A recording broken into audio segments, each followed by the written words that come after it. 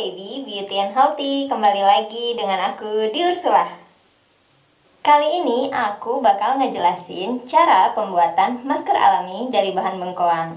Nah, apa aja sih kegunaannya? Yaitu untuk menghilangkan jerawat di wajah kamu Beruntusan maupun mencerahkan kulit wajah kamu.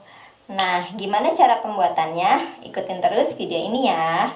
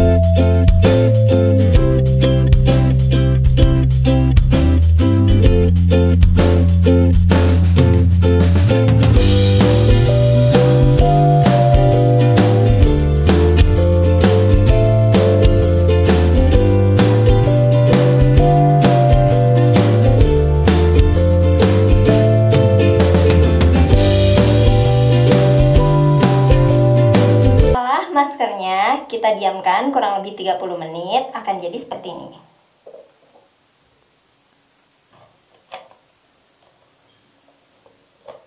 Tuh.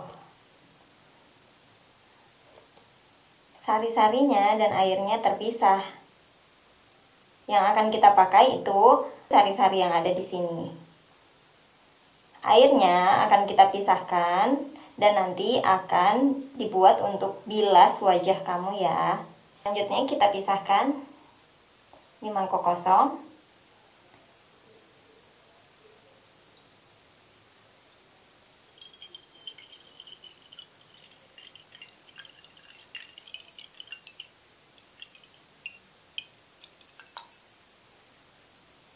Nah, ini akan kita pakai ke wajah kita.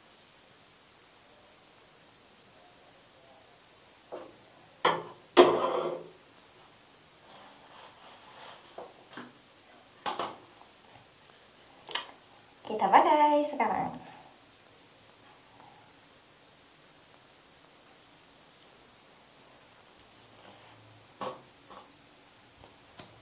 Kamu bisa pakai ini dengan kuas masker atau langsung pakai tangan.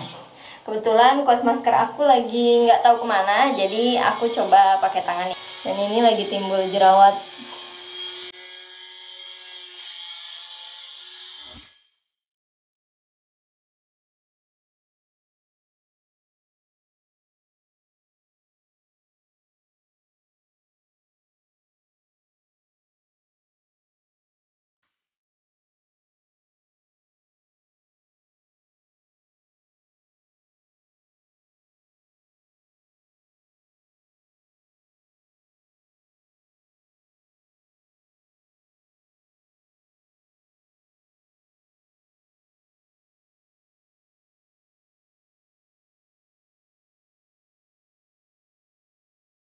Nah, ini hasil pemakaiannya ya.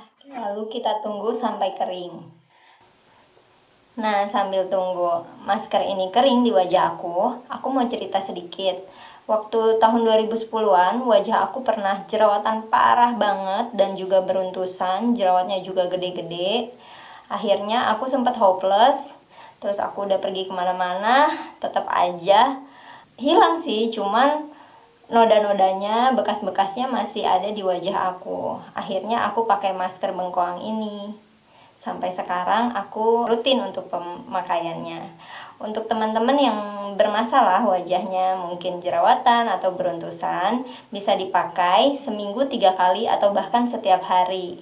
Karena ini alami, semua jenis kulit itu cocok untuk masker bengkoang ini. Nah ini teman-teman bisa lihat udah kering.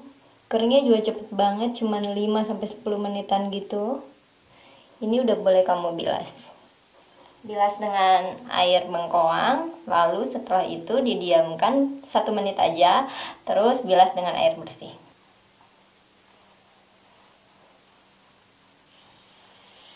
Nah, setelah pemakaian masker bengkoang dan sudah aku bersihkan dengan air bersih juga, nih kurang lebih seperti ini.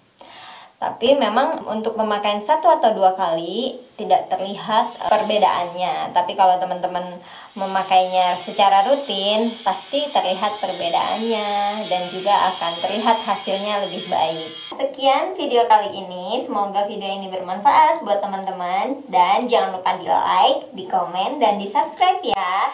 See you on next video.